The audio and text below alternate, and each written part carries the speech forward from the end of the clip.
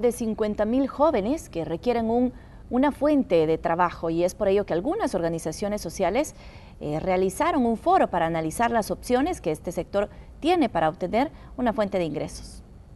En este foro las organizaciones analizaron las implicaciones sociales y económicas que tienen los jóvenes para obtener su primer empleo. Una oportunidad laboral puede ser el detonante para que no migren a otro país o en el peor de los casos, incorporarse a un grupo delictivo. Roberto Rubio considera que la economía de El Salvador no brinda las oportunidades necesarias.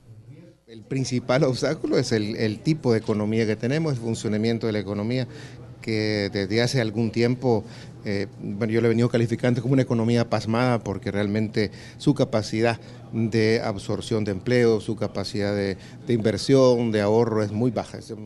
De acuerdo a las estimaciones, cada año en el país hay 50 mil jóvenes que requieren una fuente de trabajo, la cual en su mayoría no la obtienen.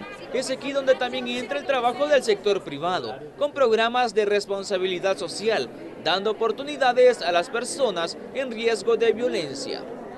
Y el tema de la delincuencia, ¿no? Por eso es que también optamos ya hace unos años poder montar proyectos de incorporación de estas personas en riesgo, eh, un proyecto que logró beneficiar alrededor de 190 expandilleros que decidieron por una, por una vida productiva e integrarse a, a, a, a trabajar.